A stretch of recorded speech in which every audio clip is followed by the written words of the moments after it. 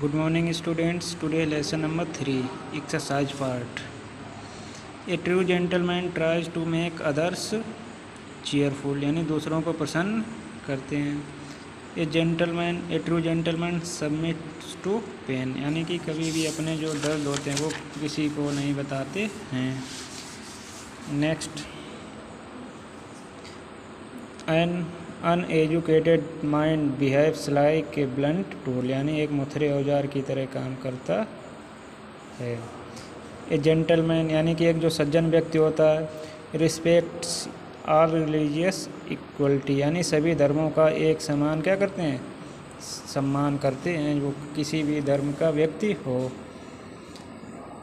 In an opinion of a gentleman यानी एक gentleman यानी सज्जन व्यक्ति के विचार में क्या होता है? देखिए one who gift boastfully to giver God alone is giver यानी कि भगवान एकमात्र देने वाला है। Yes next matching list serve service of the sufferings यानी जो परेशान है उसकी सर्विस यानी कि सेवा करना किसके समान माना जाता है?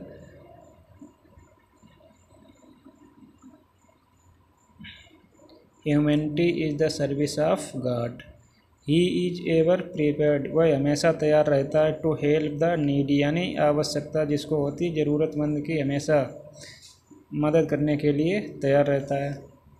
A true religion never creates ill will between man and woman यानी एक जो सच्चा रिलीजियस व्यक्ति होगा, वो क्या हुआ? कभी भी व्यक्तियों में, एक दूसरे में भेदभाव नहीं करेगा। He knows the weakness and strength यानी वह हमेशा क्या जानते हैं? ताकत जानते हैं और कमज़ोरी जानते हैं। Of human reason he has no ears for ribaldry यानी जो फॉल टाइप के लोग होते हैं, जो गाली गलौज करने वाले लोग होते हैं या जो कोई गलत शब्द बोलने वाले होते हैं, उनके प्रति क्या होता है? यानी उन पर वो बिल्कुल भी ध्यान नहीं देते हैं। True false a true gentleman is never helpful to others is ever यानी कि जो एक सज्जन सज्जन व्यक्ति होता क्या हमेशा दूसरों के लिए मददगार नहीं होता? गलत मददगार होता है, क्या होगा? ट्रू होगा आपका एवर यानी सदैव दूसरों की मददगार होता है।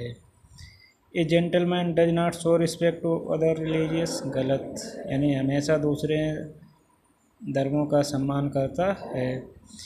A gentleman is afraid of death यानी सज्जन व्यक्ति का मौत से डरते हैं? नो नहीं डरते हैं true is afraid of false होगा। इसमें क्या कह रहा है? डरते हैं।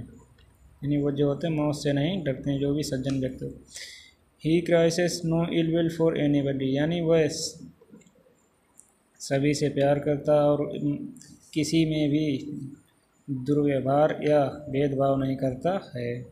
ही इज़ मर्सीफुल वह दयाबान होता इवन टू द एवेज्यू एफसेड यानी जो गाली गलौज देने वाले लोग होते हैं, मूर्ख लोग होते हैं, उनके प्रति भी दयावान होता है। It is true